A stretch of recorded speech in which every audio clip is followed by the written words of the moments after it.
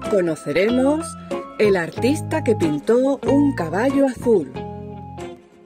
Soy un artista y pinto un caballo azul y un cocodrilo rojo y una vaca amarilla y un conejo rosa y un león verde y un elefante naranja y un zorro violeta y un oso polar negro y un burro de colores.